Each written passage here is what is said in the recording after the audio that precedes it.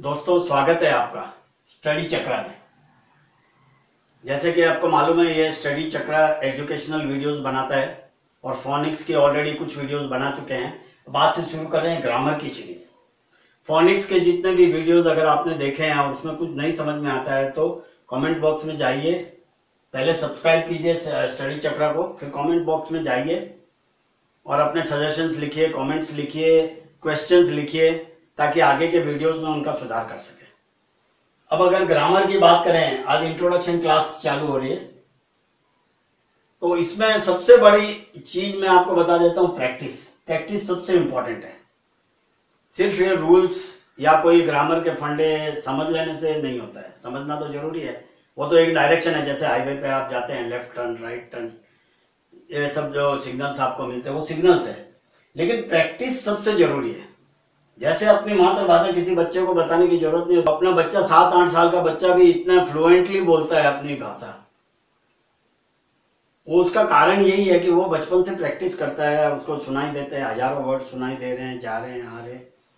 तो वही आप काम आपको करना है, जितना हो सके प्रैक्टिस करना है। जब ये रूल्स मालूम पड़ जाएँगे उसके बाद। और प्रैक्टिस क्या करेंगे? प्रैक्टिस वर्ड्स की करेंगे। लेटर्स मैंने आपको बता दिया प्रोनाउंसिएशन की क्लास में। फोनिक्स की क्लास में। लेटर्स है वॉवल्स और कॉन्सोनेंट्स है। उनसे वर्ड्स बनते हैं वर्ड से सेंटेंस बनते हैं। तो कॉम्प्लेक्स सेंटेंस सिंपल सेंटेंस कोई भी सेंटेंस बनाने के लिए वर्ड्स की सबसे ज़्यादा ज़रूरत है। वर्ड्स की बहुत अहमियत है। इसमें आपको समझना पड़ेगा और फिर मेमोराइज भी करना पड़ेगा। सिर्फ़ ऐसे बिना समझे मेमोराइज करोगे तो कुछ, आगे नहीं बढ़ने वाली बात। अब सवाल ये उठता है, कितने वर्ड्स आप मेमोराइज करोगे? तो एक एस्टिमेट के हिसाब से मैंने कहीं सुना है कि शेक्सपियर जो कि लिटरेचर इंग्लिश लिटरेचर का भगवान था गॉड था, उसकी कलम से पंद्रह हज़ार डिफरेंट वर्ड्स निकले। जबकि एक्चुअली आप एक कोई मोटी डिक्शनरी निकालेंगे तो उसमें करीब करीब दो लाख वर्ड्स होंगे। दो लाख वर्ड्स होंगे। अब वो जो आप, मैं बता रहा हूँ, पंद्रह हज़ार वर्ड्स उसमें से भी दस हज़ार वर्ड्स आज के जमाने में कोई काम नहीं आने वाले। सिर्फ़ पाँच हज़ार बचे। तो अपने को वहाँ तक तो पहुँचना नहीं है, जो काम अपन कर रहे हैं अभी। अगर मान लो टेन परसेंट भी अपन मेमोराइज करने की कोशिश करें तो डिफरेंट वर्ड्स 500 भी पहले फ़र्स्ट शॉट में अगर 500 वर्ड्स भी मेमोराइज कर लें तो अपन अच्छी खासी इंग्लिश बोलने लग जाएँगे। समझ के? समझ के मेमोराइज करना है इसको। तो आइए उसी के लिए, उसी दिशा में आगे बढ़ते हैं और कोशिश करते हैं। ये मेरी एक कोशिश है कि आप यहाँ तक पहुँच सके। पहली बात कोई भी वर्ड हो कोई भी वर्ड हो जो दो लाख वर्ड की मैंने बात किया पंद्रह हज़ार की बात किया दस हज़ार किया या पाँच सौ की कोई भी वर्ड हो वो ये नौ कैटेगरी में आ, मिलेंगे आपको। ये क्लासिफिकेशन है पार्ट्स ऑफ़ स्पीच इनमें से कोई ना कोई क्लासिफिकेशन में वो होगा ही। ऐसा हो नहीं सकता कि इन नौ के अलावा और कोई क्लासिफिकेशन में आपको मिले।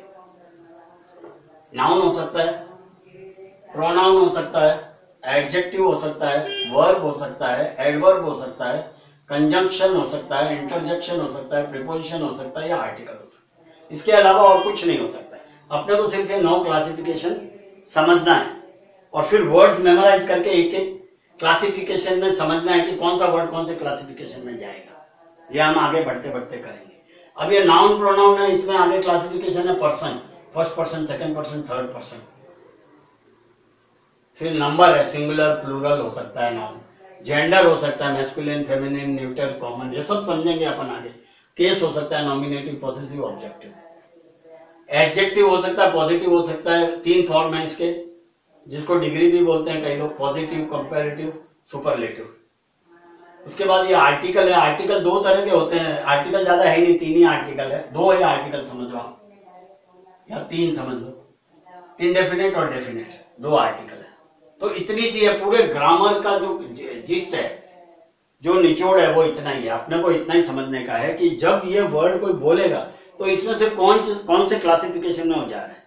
फिर एकदम इजी हो जाएगा सेंटेंस बनाना सेंटेंस को बोलना, समझना। आज के लिए इतना ही। आगे से हम शुरू करेंगे नाउन से प्रोनाउन से एक एक चीज़ को लेंगे और उसको पूरा एक्सटेंसिवली ढंग से समझेंगे। थैंक यू मेरा चैनल अगर आपको अच्छा लगा सब्सक्राइब कीजिए। आगे शेयर कीजिए ताकि आगे से आगे कई लोगों को मिले। सब्सक्राइब करने पर एक चीज़ ध्यान रखिए, बाजू में बेल का सिंबल है, उसको क्लिक करिए।